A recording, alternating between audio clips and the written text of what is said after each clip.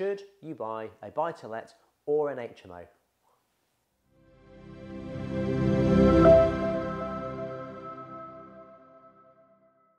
So this is a question I often get asked is whether to buy an HMO or buy a buy to let. And, the answer to that really is it depends. It depends on quite a lot of stuff. It depends on um, what capital you've got, where you're investing, what your strategy is, what you're looking for um, at the end of it. And to be fair, you could go out there and buy 100 buy to lets, which is going to make you 100 to 200 pounds profit per month, or you could go out there and buy, let's say, 10 HMOs, which is more likely to make you 1,000 to 1,500 pounds profit per month.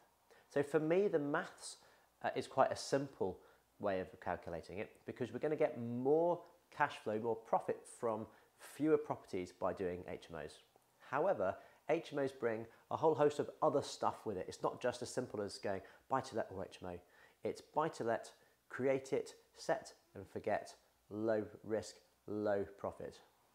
HMO, lots of uh, legislation, lots of management, lots of people, fewer properties, but higher reward. So generally we have both.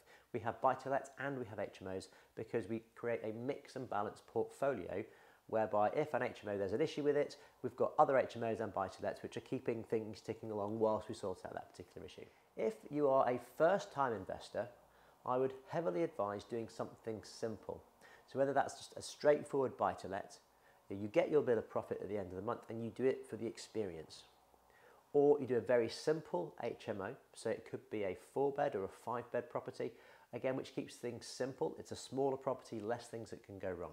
I'd highly advise against doing something more complex, like a large HMO, anything that requires complex planning permissions or major structural works, because that's where things can start to go wrong um, in many different ways. So keep it simple. So in answer to the question, should you buy buy to let or an HMO, um, I would personally buy an HMO every single time, but then uh, you know pick up a few buy-to-lets along the way. Hopefully that's been uh, helpful. So to find out more about uh, the HMO platform, what we do, head over to our website, thehmoplatform.co.uk and don't forget to like and subscribe.